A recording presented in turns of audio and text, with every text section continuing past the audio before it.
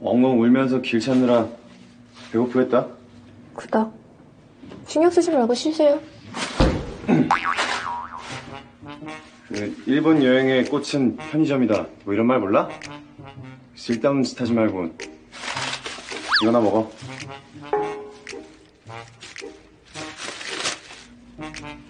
간다.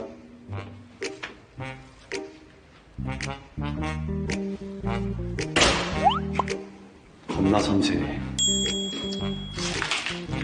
갑자기 왜 저래? 유통기한 지난 거 아니야, 이거? 음! 음! 전 편의점 거가 이렇게 맛있어? 음? 또 누구래?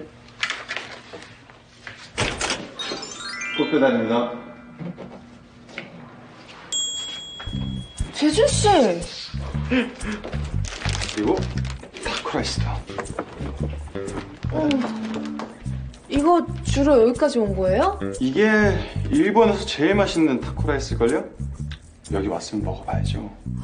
너무 감사해요. 저까지 신경 써주시고. 아버지 지인분 오늘 저녁에 만나기로 했으니까 준비하고 있다 로비로 와.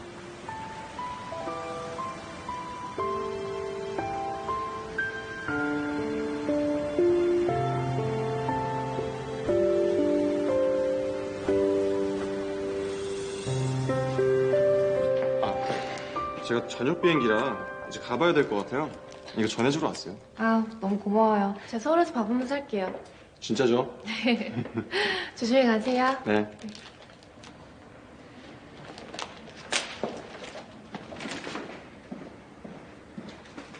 그냥 씨. 네? 그 지난번에 얘기했던 걔야 생각해봤어요? 아, 진짜 이제 장난 그만 치셔도 돼요. 제가 무슨 연예인도 아니고. 저는 재준 씨가 그렇게 얘기해줘서 그것만으로도 진짜 위로가 됐어요. 회사 대표가 이렇게 음식까지 싸들고 다니면서 러브콜 하기 쉽지 않아요. 들어가요. 조심히 가세요. 잘 먹을게요.